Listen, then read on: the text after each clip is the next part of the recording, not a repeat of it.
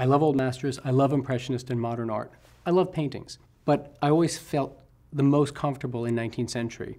And the greatest discovery of my career comes out of that area.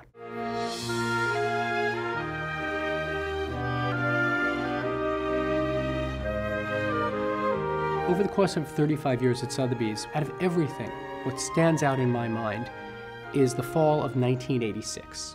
And a client called up and said they had a painting by David. He said it's called The Farewell of Telemachus and Eucharis from 1819. This was a wonderful love story that was taken from Book 7 of Homer's Odyssey. I immediately went to do some research on the painting and found that we had sold the painting in 1950. From 1950 to 1986, it had not been seen by the public. It was really considered lost. In doing my research on the painting, one of the things that I noticed, the definitive book on David at that time listed that the 1950 sale in New York was of the painting by David's student, a woman called Sophie Rude.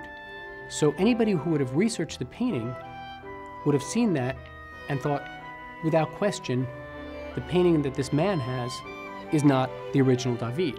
In researching it further, it was clear that the painting that was sold in 1950 was not the Sophie Rude painting because of the signature and the dating difference.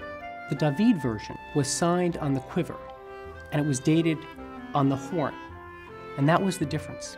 I explained to the client that what he has is the original painting, so it was a discovery and really made a big splash when it hit the auction block. The painting comes in, and not only is it perfectly genuine, it is spectacular. It was unlined. It was never been cleaned. Even the nails were these old original nails. That were the nails David used when he stretched the canvas. It was literally as if it had come right off David's easel.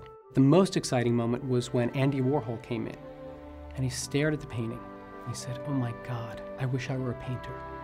And I said, Andy, you are a painter. And he sort of just lifted an eyebrow up. I think what he was saying with that one lift of an eyebrow is, You're looking at a masterpiece. We had estimated the painting to sell between two and three million. Before the sale, a woman called up and said, I need to come in because I'm going to be bidding on the painting and I need to talk to you.